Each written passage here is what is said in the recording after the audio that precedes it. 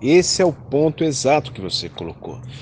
Nós vivemos a realidade de um estado de ser em que era completa comunhão, ausência total dessa estrutura pessoalizada, movida pelo medo, pelas dependências, pelos cálculos, né? sabendo que é essa realidade do amor? Sabendo o que é liberdade, sabendo que é um estado de felicidade, integração, um estado pleno de ser. Nós sabemos que isso existe.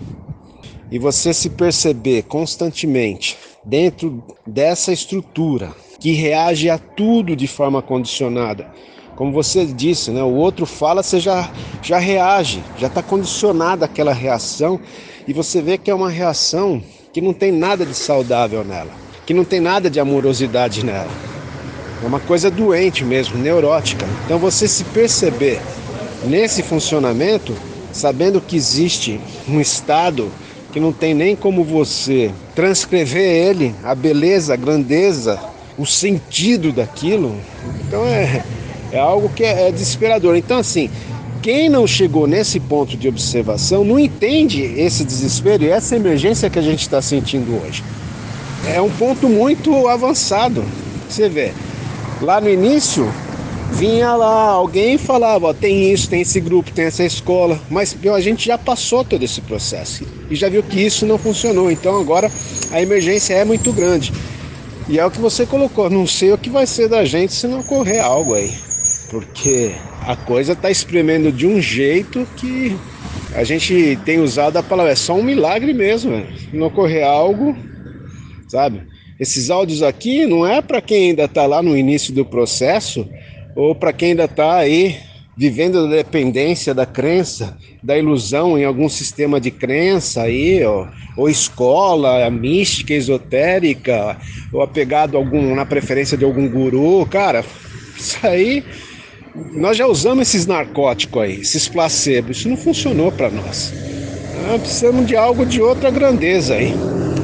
Aquela vivência lá mostrou para nós que existe um estado de ser que é paz incondicionada. É um estado de paz, de leveza, de beleza, que não está atrelado a nada, que não depende de nada para sentir aquela paz, para perceber aquela beleza, aquela leveza, né? aquela ausência dessa estranheza que nós carregamos. Então nós sabemos que isso daí existe. E sabemos que ela veio sem a gente esperar, não sabemos nem como aquilo surgiu como esse estado, onde a gente se via completamente livre de qualquer cacuete nosso, de qualquer mania, de qualquer defeito de caráter, de qualquer imperfeição, onde tudo era visto como perfeito, se isso não se manifestar, cara, fica muito difícil essa vivência aí. Não, faz mais sentido. Não tem nada que faça sentido no seu resgate disso, sabe? Não faz. Porque na, aquilo éramos clareza. Tudo era visto com uma clareza indescritível. Não era vista como é visto hoje. Hoje todos os nossos sentidos de percepção, todos eles estão condicionados. Então nós recebemos tudo de uma maneira condicionada, de uma maneira condicionada e fragmentada, de uma, de uma maneira que não toca. Na realidade, quando nós vivemos aqui, não tinha nada que tocava porque não tinha nós lá para ser tocado. Nós éramos tudo.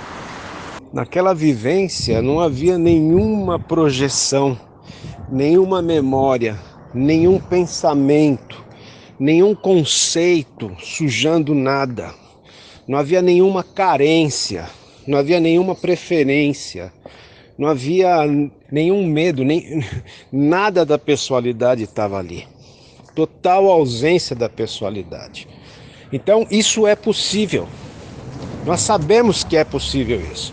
Quem não viveu isso não compreende o que nós estamos querendo dizer com isso. Mas nós também não estamos preocupados se o outro compreende ou não. Nós sabemos que aqui é sentido que a única escapatória para nós, a única solução para nós é a manifestação disso. E isso ficar aí. A gente ser transformado nesse contato. Como a nossa experiência ela foi passageira, para alguns de nós algo quase, quase sem tempo, vamos colocar assim, nós não sabemos o que é viver isso num estado da maturidade que nós temos hoje. E nós também não sabemos o que seria o viver, as relações, as circunstâncias, os ambientes dentro desse estado de ser. Mas aqui é sentido que a única coisa que poderia restaurar né, uma qualidade totalmente diferente, uma natureza para mover completamente diferente, tudo isso seria só essa manifestação.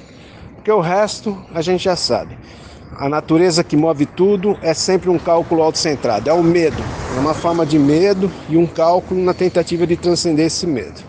Veja, várias formas de arte, em especial o cinema, vem tentando apresentar essa mutação psicológica. Vou pegar um exemplo aqui que eu acho extremamente significativo: o filme Avatar. O filme Avatar mostra ali um primeiro momento o indivíduo sempre calculando, medindo, fazendo barganha, sempre querendo entrar em ação por causa de algum interesse pessoal, certo? Para tentar transcender alguma limitação da pessoalidade. A partir do momento que o indivíduo entra numa dimensão completamente diferente, em que ele sofre uma mutação psicológica, no filme lá é caracterizado pela mudança do corpo dele, você vê que o indivíduo começa a perceber tudo e sentir tudo como nunca sentia. Ver tudo, observar tudo como nunca observava. Veja que a frase marcante desse filme é: Eu vejo você. Agora eu vejo você. Porque a pessoalidade não deixa ver nada sem os filtros do autointeresse. Então, de fato, não vê. O que vê é a forma de interesse.